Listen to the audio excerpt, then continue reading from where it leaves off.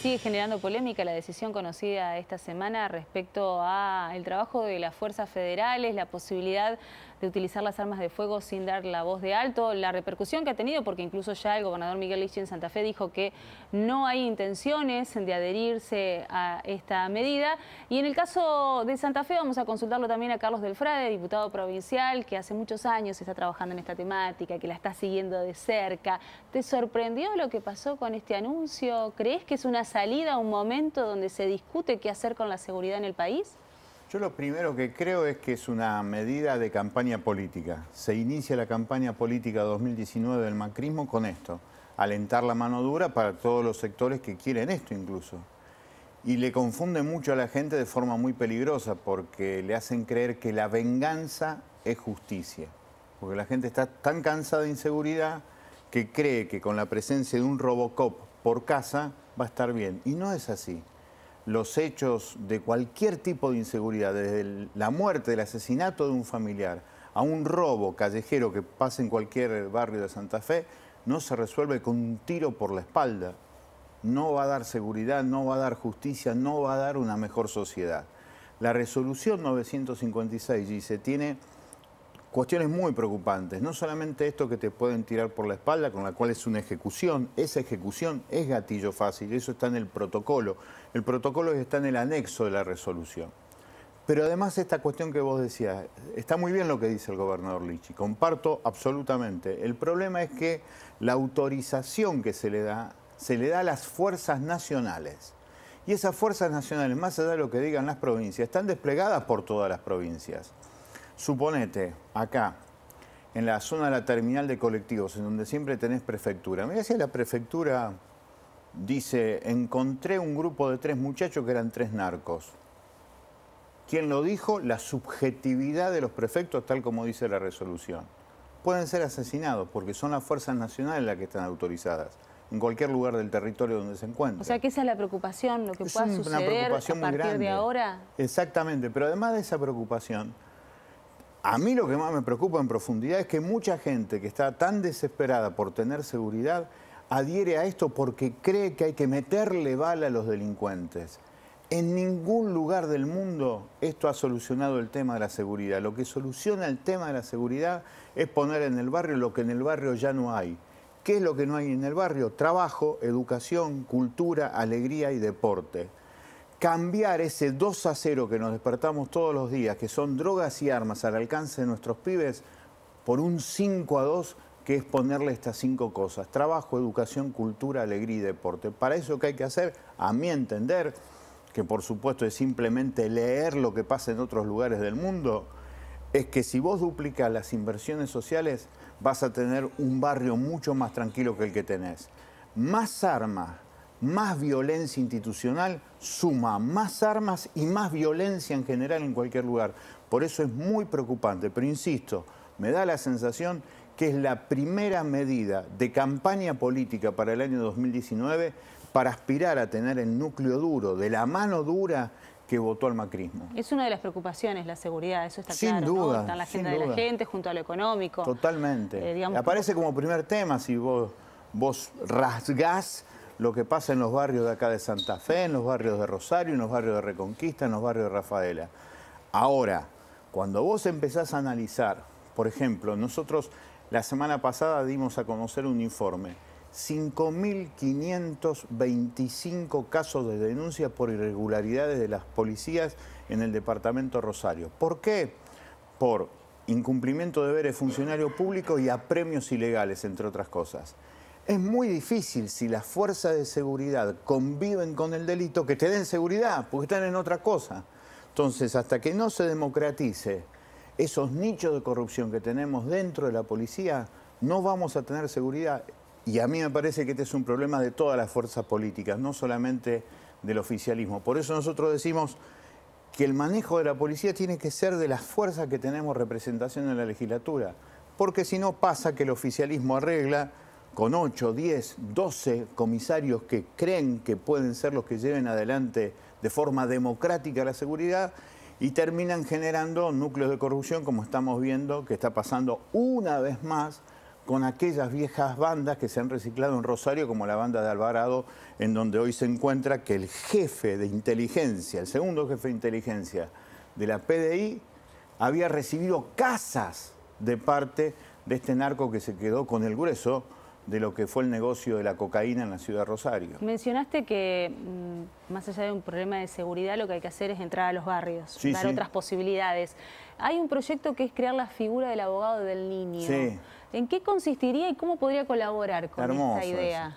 La verdad que fue una gran alegría porque fuimos siete autores de diferentes bancadas que quisimos poner esto que para mí es un abrazo a las niñez. Hay muchas chicas y muchos chicos que la están pasando muy mal, dice, en toda la provincia.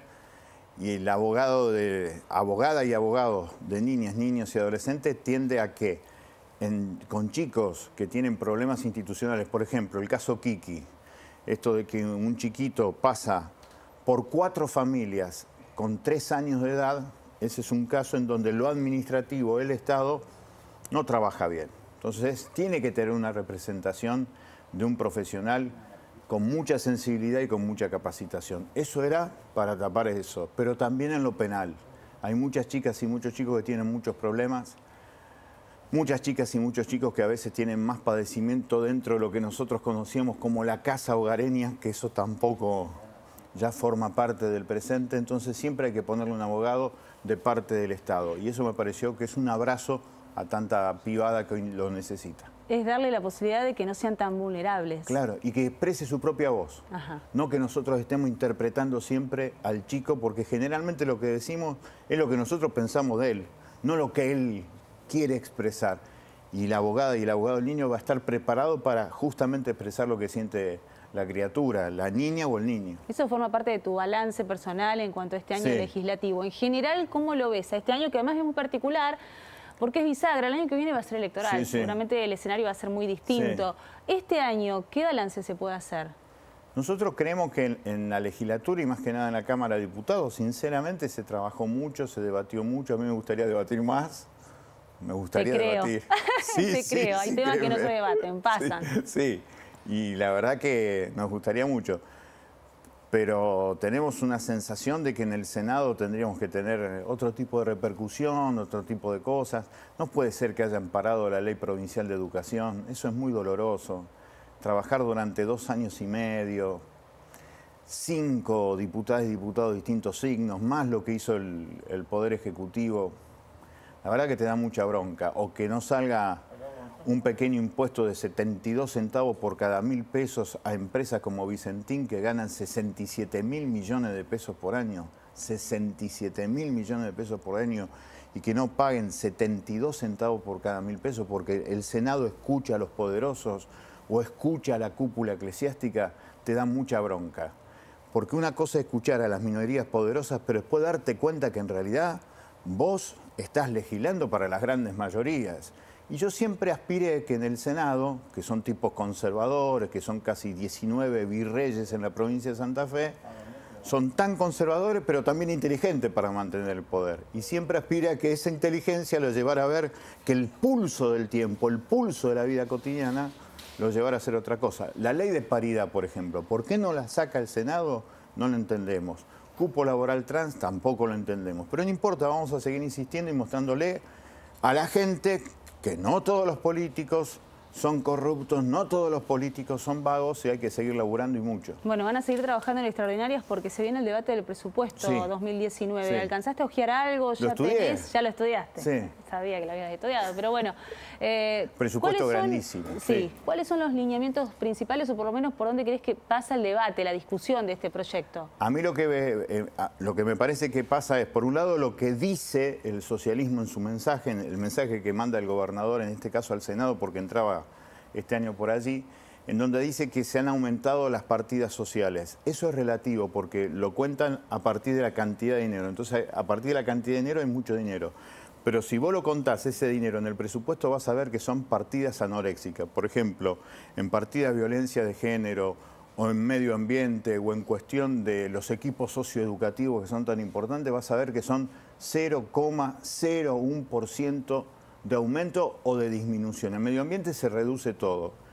lo cual es lógico porque no han querido tocar la ley de agrotóxicos, por ejemplo, en la provincia de Santa Fe. Son los mismos intereses que están detrás de los que no quieren pagar impuestos. Entonces ese es un tema. Después hay otro, un crédito con la agencia francesa del Estado de 100 millones de euros. ¿Cuál es la necesidad? Más allá de que es un gran negocio para la agencia francesa. Para nosotros es un negocio una empresa, una empresa, una provincia como la nuestra que produce 700 mil millones de pesos por año, como es el producto geográfico de la provincia, ¿hay necesidad de eso? ¿Por qué no hacemos una reforma impositiva? Porque si no puede pasar como lo que pasa hoy, que te cobren cada vez más la luz, te cobren cada vez más el agua y los sectores más pudientes cada vez pagan menos. Eso para nosotros está mal. Y el tercer elemento que nosotros cuestionamos, hay un ahorro previsto de 32 mil millones de pesos mucha plata, 32 mil millones de pesos, casi te diría más de la EPE, por ejemplo. La EPE tiene 27 mil millones de pesos asignado para el 2019. Ese 32 mil millones de pesos, ese ahorro, Lichi lo quiere poner todo en obra pública. No está mal, pero yo digo, por lo menos la tercera parte, mándalo a que haya laburo en los barrios, hace más grande el plan Abre, más grande el plan Abrevida, eso es lo que queremos discutir. Bueno, eso es lo que vas a plantear. Y pensando en el 2019, ¿con qué escenario crees se va a encontrar la actividad legislativa y la provincia?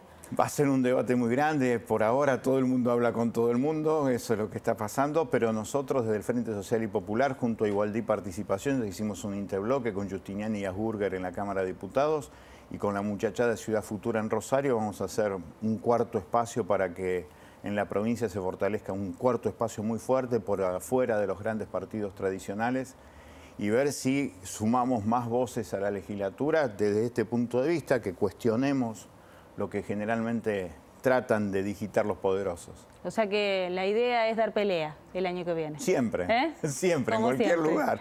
Como siempre, Carlitos Dufrade al frente de la batalla. Bueno, gracias por haber venido. Vamos a estar atentos a los temas que quedaron pendientes y que seguramente van a ser de tratamiento en los próximos días. Un ¿eh? privilegio, aparte estamos en el siglo XXI, me doy cuenta con el estudio de televisión. Pensar que empezamos con una Super 8. ¿Viste cómo cambian los tiempos? Bueno, un gusto tenerte en la nueva casa. Gracias. ¿eh? Hasta la próxima, vamos a hacer una pausa muy breve, pero con buena música, con un recomendado de Halley. Ya venimos.